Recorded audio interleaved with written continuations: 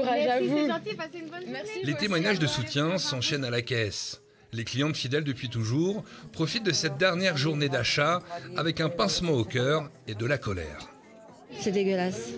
C'est dégueulasse parce que, parce que Camailleux s'en va, ça fait des années que je le connais ici. C'est une société qui, qui laisse crever les gens.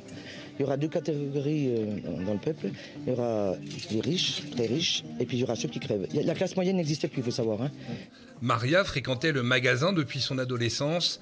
C'est une page qui se tourne aujourd'hui un peu trop vite à son goût. Ah ben moi je suis euh, déçue pour euh, les, les, vendeuses, tout, le, tout le groupe Camailleux parce que c'est quand même une enseigne française qui existe depuis des années des années. Deux salariés travaillent dans ce magasin et quatre autres dans la seconde boutique dans un centre commercial près de Vesoul. Cette dernière journée est loin d'être évidente dans toutes les boutiques en France.